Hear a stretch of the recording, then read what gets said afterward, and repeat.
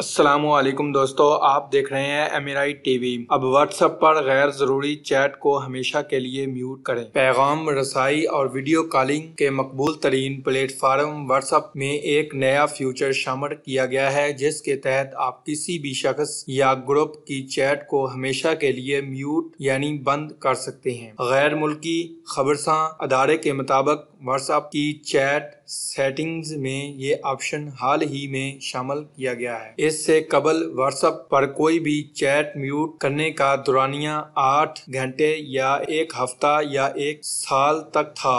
लेकिन अब सार्फिन को एक साल की जगह हमेशा के लिए चैट म्यूट करने का ऑप्शन दिया गया है। व्हाट्सएप का ये नया फ्यूचर अब एंड्रॉयड और आईओएस दोनों ही ऐप में दस्तियाब है। अगर आप भी व्हाट्सएप पर किसी चैट को हमेशा के लिए म्यूट करना चाहते हैं तो मंदरजा झैल तरीकाकार अपनाएँ। नंबर एक व्हाट्सएप पर आप जिस चैट को म्यूट करना चाहते हैं, उसे खोलें। नंबर दो, चैट खोलने के बाद आपको अपनी स्क्रीन ऊपर सीधे हाथ की तरफ़ म्यूट नोटिफिकेशन का ऑप्शन नज़र आएगा। नंबर तीन, अब आप इस म्यूट नोटिफिकेशन के ऑप्शन पर क्लिक करेंगे तो नई अपडेट के मुताबिक आपको वहाँ ऑलवेज यानी हमेशा के लिए चैट म्यूट करने का ऑप्शन नज़र आएगा। जिस पर क्लिक करने के बाद वो चैट म्यूट हो जाएगी। दोस्तों, अगर आपको चैट म्यूट करने की समझ नहीं लगी तो इस वीडियो के नीचे डिस्क्रिप्शन में आपको लिंक मिल जाएगा। उस वीडियो को